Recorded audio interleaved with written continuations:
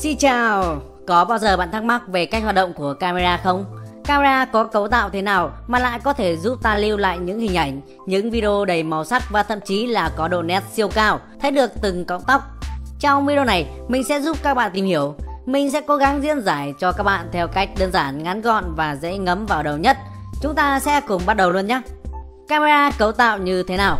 Thì thực ra mỗi cái camera được cấu tạo từ rất nhiều bộ phận Thế nhưng cái bộ phận quan trọng nhất giúp xử lý hình ảnh đó là cảm biến. Có lẽ bạn quan tâm về công nghệ thì chẳng còn lạ gì với cái từ cảm biến. Nhưng cảm biến là gì? Được cấu tạo như thế nào và hoạt động ra sao? Thì có lẽ nhiều bạn không biết. Vậy chúng ta sẽ đi tìm hiểu về cái cảm biến. Trước hết, phải hiểu rằng chúng ta nhìn thấy một vật là nhờ ánh sáng từ vật đó chiếu vào mắt ta. Và camera muốn chụp được ảnh thì phải có ánh sáng từ vật đó đi vào camera. Cụ thể hơn là đi vào cảm biến, cảm biến sẽ xử lý chùm ánh sáng đó và biến nó thành tín hiệu điện. Qua nhiều bước xử lý khác nữa thì tín hiệu điện sẽ được mã hóa thành mã nhị phân, như đó mà có thể hiển thị lên màn hình và được lưu giữ trong thẻ nhớ. Cơ bản là như vậy, nhưng làm sao cảm biến phân tích được ánh sáng và chuyển nó thành tín hiệu điện? Đây mới là mấu chốt của vấn đề và chúng ta sẽ đi giải quyết nó. Có thể bạn đã biết, mỗi hình ảnh chúng ta nhìn thấy trên điện thoại hay máy tính thì đều được cấu tạo bởi rất nhiều điểm ảnh. Mỗi điểm ảnh mang một màu sắc riêng và khi xếp chúng lại gần nhau thì sẽ tạo ra một hình ảnh rõ nét với nhiều màu sắc. Câu hỏi đặt ra là những điểm ảnh đó từ đâu mà ra? Thì câu trả lời chính là từ cái cảm biến. Đúng hơn là từ những điểm ảnh trong cái cảm biến. Sự thật là trong mỗi cảm biến luôn chứa rất nhiều điểm ảnh. Số điểm ảnh trong cảm biến bằng đúng với số điểm ảnh trong cái hình mà nó tạo ra. Hiểu đơn giản hơn thì khi các cảm biến chụp ảnh, nó sẽ ra lệnh cho từng cái điểm ảnh chụp lại màu sắc ánh sáng chiếu lên nó. Sau đó ghép từng màu của mỗi điểm ảnh lại thì sẽ có một cái ảnh hoàn chỉnh mà chúng ta thường thấy. Nhưng làm sao mỗi cái điểm ảnh trên cảm biến có thể chụp được ảnh hay đúng hơn là có thể lưu lại thông tin về màu sắc ánh sáng chiếu lên nó và biến nó thành tín hiệu điện.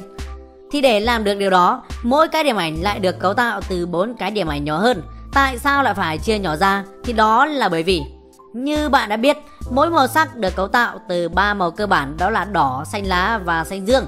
Vậy muốn một điểm ảnh trên cảm biến ghi nhận lại đúng màu sắc của ánh sáng chiếu lên nó thì phải ghi lại cấp độ của ba màu cơ bản kia. Mà một cái điểm ảnh thì không thể ghi cùng lúc ba màu được, thế nên cần phải có ít nhất ba cái. Nhưng có lẽ để dễ xếp thành hình vuông, nhà sản xuất đã tạo ra bốn cái nhỏ gồm một đỏ, một xanh dương và hai xanh lá. Như vậy một điểm ảnh thực chất cơ bản được cấu tạo từ 4 điểm ảnh bé hơn, mỗi cái phụ trách ghi lại thông tin của một màu. Nhưng ghi như thế nào thì chúng ta lại đi tìm hiểu về cấu tạo của điểm ảnh nhỏ tí kia. Mỗi điểm ảnh nhỏ lại được cấu tạo bởi hai thành phần, đó là kính lọc ánh sáng và diode quang. Kính lọc ánh sáng để làm gì?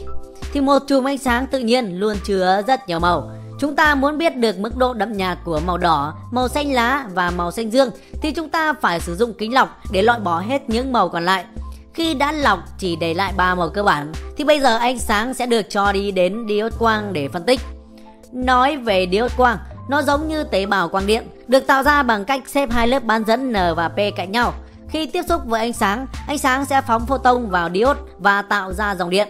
Cụ thể hơn thì các bạn có thể xem lại video về năng lượng mặt trời.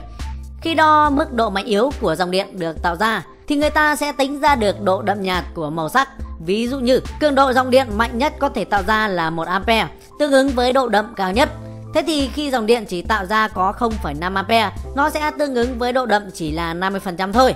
Và độ đậm nhạt thì được biểu diễn bằng con số, vậy nên dễ dàng được mã hóa thành mã nhị phân. Như vậy đến đây chúng ta có thể hiểu được rằng diode quang có thể ghi lại thông tin màu sắc Cụ thể hơn ở đây là độ đậm nhạt của ba màu cơ bản là bởi vì khi ánh sáng đi vào diode sẽ tạo ra dòng điện, người ta đo cường độ dòng điện mạnh hay yếu sẽ biết được độ đậm nhạt của màu. Khi biết được độ đậm nhạt của ba màu cơ bản trên mỗi điểm ảnh nhỏ, chúng ta sẽ có màu sắc của một điểm ảnh hoàn chỉnh. Hàng triệu điểm ảnh hoàn chỉnh sẽ giúp chúng ta có một bức hình hệt như cảnh vật đã được chụp. Tóm lại, cảm biến sẽ hoạt động như sau. Ánh sáng từ hình ảnh muốn chụp sẽ đi vào camera đến cảm biến Chùm ánh sáng đến đây sẽ được hàng triệu điểm ảnh nhảy vào phân tích và mỗi điểm ảnh sẽ để ánh sáng đi qua bộ lọc màu để giữ lại một trong ba màu cơ bản. Nó sẽ phân tích xem độ đậm nhạt của từng màu cơ bản như thế nào bằng cách phân tích dòng điện mà ánh sáng tạo ra. Sau khi đã phân tích ba màu cơ bản, nó tổng hợp lại thành một điểm ảnh hoàn chỉnh mang màu sắc riêng. rồi hàng triệu điểm ảnh hoàn chỉnh sẽ tạo ra hình ảnh được chụp.